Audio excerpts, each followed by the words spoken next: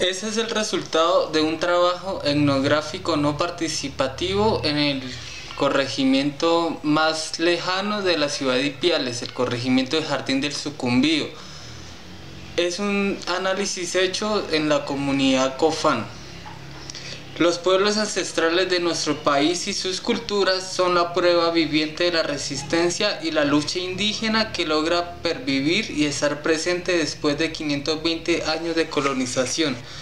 Tenemos mucho que aprender de ellos y de sus tradiciones. El Taita Libardo Queta nos comparte un poco de sus saberes y su medicina sagrada como su modo de vestir, su idioma, su nobleza y su música medicinal nos recuerda la importancia de conservar lo propio, de valorar lo esencial y de compartir en armonía con los seres que nos rodean.